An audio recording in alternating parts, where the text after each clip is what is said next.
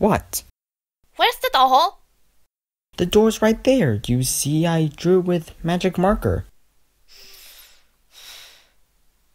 You were supposed to cut it out with a power saw! Dude, I'm gonna. Oh, really? Yes. So go get the power saw! Okay, I will.